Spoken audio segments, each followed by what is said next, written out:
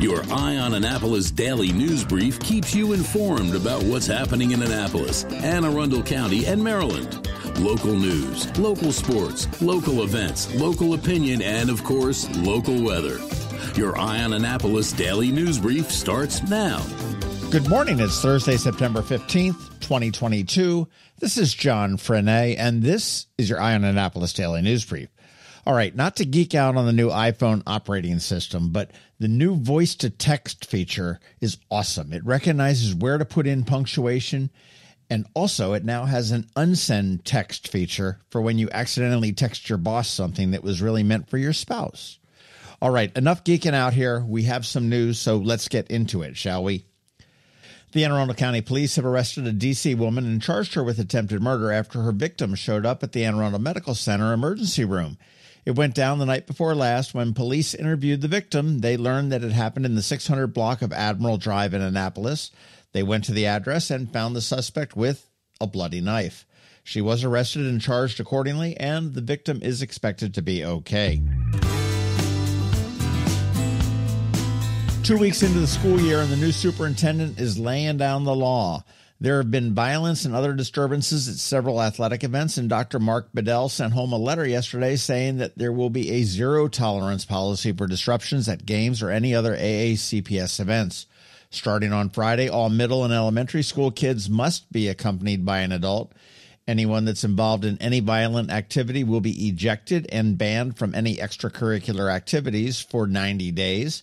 And Bedell also said that he is prepared to change the dates and times of events if needed or restrict attendance. The Annapolis Boat Shows. You know, those two amazing weeks in October? Well, they are going to be awarding the Sailing Industry Distinguished Service Award at the Sailing Industry Breakfast on October 13th, and nominations are now opened. This has gone on since 2014 and is designed to honor someone that has given really of themselves to the advancement of the sailing industry.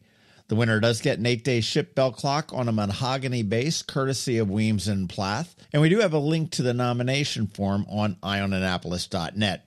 It's a Google form, so it has a very long URL. It's easier just to look at eyeonannapolis.net for that link. And nominations do need to be in by October 1st. Vida Taco Bar opened here in Annapolis a while ago, and then they expanded to Severna Park and ultimately to Baltimore.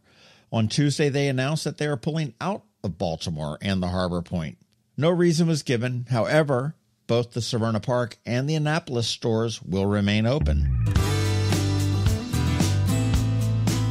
The Anne Arundel County Fair opened last night, and as always, it looks like a lot of fun. And with it being an election year, there is the added bonus of all of those politicians running around, and we really need to find a way to see if we can pin them up and judge them like they do the animals. But I digress a little bit. The fair does run through the 18th. Tickets are $10, and kids under a random age of nine are free. Of course, it is at the county fairgrounds located on Generals Highway in Crownsville. And tonight, will I see you at 5 p.m. at MC3? The inaugural Annapolis Songwriters Festival opens up at stage one right there by the Westin Hotel with a free concert featuring Jimmy Haha, Dean Rosenthal, Scribe, Honestly Soul, and Robert Randolph. There are more than 80 free performances between 5 p.m. tonight and Saturday evening, with a handful of ticketed ones. But listen to some of the talent that's coming here into Annapolis. Amos Lee, Lucinda Williams, James McMurtry, Jake Owen. The venue stretched from the Westin Maryland Hall all the way down to City Dock, and I'll tell you, the weather does look spectacular. Tickets and schedules are available at AnnapolisSongwritersFestival.com. Of course, tonight is the September Sunset Concert Series. It continues at the park half of the Annapolis Maritime Museum and Park. On deck tonight is everybody's favorite, the Eastport Oyster Boys.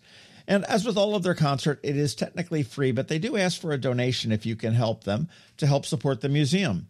Parking is limited, so rideshare, bike, walk, or maybe even boat. And if you show an Uber or a Lyft receipt, you get a coupon for a free drink.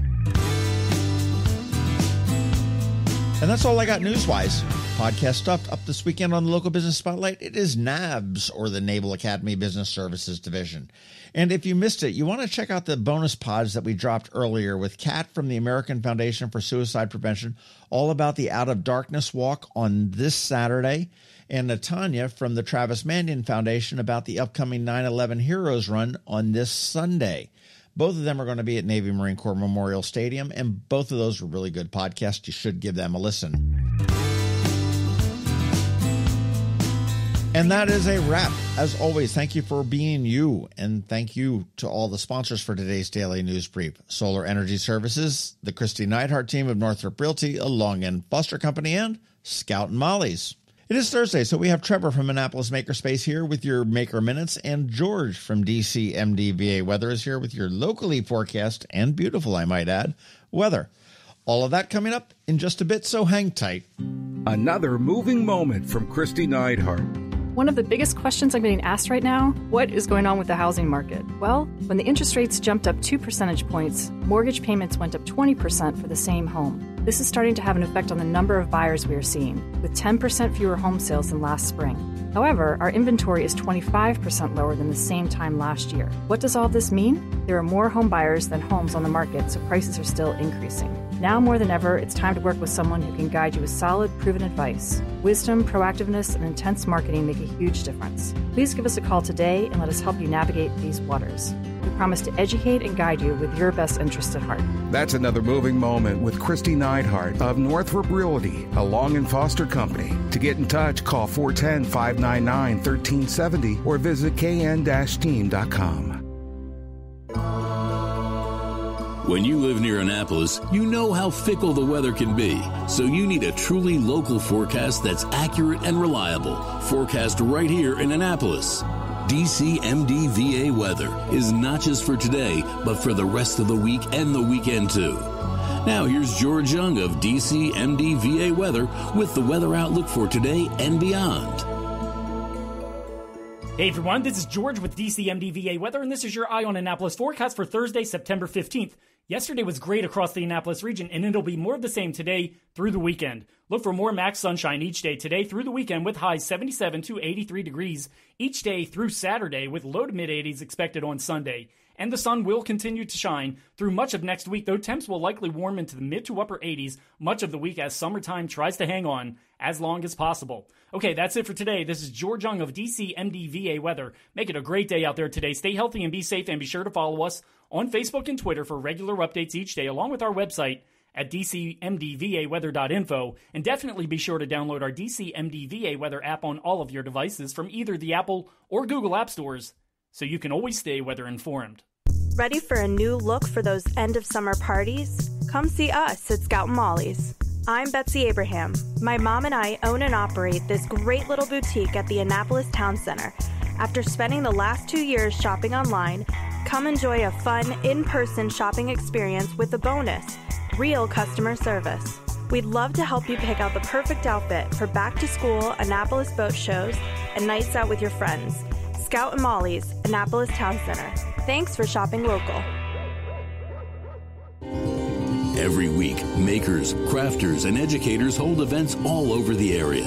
Highlighting some of those, here's our Maker Minutes, brought to you by Annapolis Makerspace. Hey, this is Trevor from Annapolis Makerspace with this week's Maker Minutes. It's finally time for the Anne Arundel County Fair to roll around. It's going on now through Sunday. On Saturday, Quiet Waters Park is having a composting demonstration with a master gardener. And also, today through Saturday, check out the first annual Annapolis Songwriters Festival. Inspired by the Key West Songwriters Festival, one of the largest of its kind in the world, and the lineup for this event is just insane. Head over to AnnapolisSongwritersFestival.com for more information and the full lineup. At Knits and Pieces off of Bestgate Road, on Saturday their intermediate hat, making a Sunnyside cap starts, and on Monday their advanced sweater with great gingham starts. And registration is open for their beginner cable hat knitting class and their Learn to Knit an Alpenglow colorwork sweater, starting in a couple weeks, as well as a bunch more classes coming up in October, November, and December. At Books for International Goodwill off of Defense Highway, tomorrow and Saturday, they're having another one of their big book sales. This is a fundraiser for the Parole Rotary Club. They have thousands of books at great prices, and they're really well organized. At the Willow Oak Flower and Herb Farm in Severn, Saturday, check out their Fall Harvest Wreath Workshop. Down in Edgewater at Londontown Gardens, tonight they're doing colonial cocktails, making syllabub, a frothy cream dream. And Stone Fence, a spice spiked cider. Learn about the history of the drinks and enjoy some cocktails in the process. Tomorrow and Saturday, they're doing their fall plant sale. The preview is tomorrow night for members and volunteers, and the general public can drop by on Saturday. Also on Saturday, it's the Smithsonian Museum Day with free admission to museums in all 50 states, with a free ticket obtained online. And while you're there, check out London Town Garden's Garden Magnets Workshop. While you shop for plants, you can drop off the kids, aged 5 through 12, to make their own upcycled resin magnets. At Whole Foods in Annapolis, today their Half Pint Kids Club is doing fruit top toast. Tomorrow there's flavors of Amalfi and been to a One wine tasting with Chef Alba, exploring fragrant lemon dishes from Amalfi, as well as exploring some wine, of course. And then on Tuesday, their Half Pint Kids Club is doing banana roll ups. Over at Art Farm, tonight their first exposure photography class continues. Sunday they have another vibe flow and chill yoga, as well as on Sunday, their teen and adult henna workshop returns, and their kids' fall semester continues with their inspired by art class for ages 6 through 8 on Saturday. But registration is open for even more fall classes, starting in coming weeks, with classes for kids such as embroidery, found object sculptures, writing short stories, graphic design, and lots more. At the Anne Arundel County Public Library System this week, Saturday, Eastport Annapolis Neck has Build It with Lego, Crofton has Ask a Master Gardener, Deal has Gardening and SoCo, What Do Bees Do in the Winter, and continuing with bees, Severna Park has Beekeeping and Making Money, Odenton has Scrape Painting in the morning, and then Build and Play with Lego in the afternoon. And Maryland City has oh, Oalata Art in honor of Hispanic Heritage Month. On Tuesday, Busch Annapolis is doing Teens Tiny Terrariums, where teens can build little terrariums. Deal has a crafternoon celebrating fall. Eastport Annapolis Neck has a Mad Hatter's Knitting Club. Broadneck has their Broadneck Needle Crafters. And then there's an online session on Tuesday with Instant Pot Virtual Cooking, making budget meals. Then on Wednesday, Riviera Beach has a craft and chat, and Deal has gardening and SoCo with the magic of trees at unallocated space in Severn. Tonight they have a virtual happy hour. Tomorrow there's a virtual amateur radio night. Monday is their project night. Tuesday their electronic fundamentals class continues and Wednesday is our weekly open house. And at Annapolis Makerspace, not this week, but the following week, we have registration open for a class on making custom engraved slate coasters with our laser engraver. If you have any questions about the Annapolis Makerspace, the Maker Minutes, or any of these events, feel free to contact me at trevor at makeannapolis.org. And you can find links to all of these events at the Annapolis Makerspace website, also at makeannapolis.org. And whether you're making art, software, sawdust, or just a mess, chances are you're already a maker. This has been Trevor from Annapolis Makerspace with this week's Maker Minutes. Hello, energy consumers. This is Rick Peters, president of Solar Energy Services. Have you been looking for ways to save money recently? Maybe you should consider solar energy for your home. Or are you waiting for the technology to get cheaper? If so, how long are you going to wait? Today's solar costs less than 20% of what it cost 10 years ago. But while solar prices have declined every year, so have the financial incentives. Bottom line, if you wait for cheaper solar, you're also waiting for lower incentives. Take my home, for example. My solar system was installed in 2010, and it's been paid off for almost five years, and I no longer have to buy any electricity for another 15 to 20 years. If I waited for cheaper solar, I'd still be paying an electric bill. At Solar Energy Services, we have thousands of satisfied customers who are sure glad they didn't wait. So what are you waiting for? Sunshine's a wasted. Call us today for a free solar design at 410 923 6090 or on the web at solarsaves.net. Sunshine, sunshine, nothing else can make me feel so fine. You've been listening to the Eye on Annapolis Daily News Brief. Tell your friends and colleagues this is the podcast where you can keep up on the latest with what's going on in Annapolis and Anne Arundel County. And don't forget about our website, eyeonannapolis.net, where you can find even more information.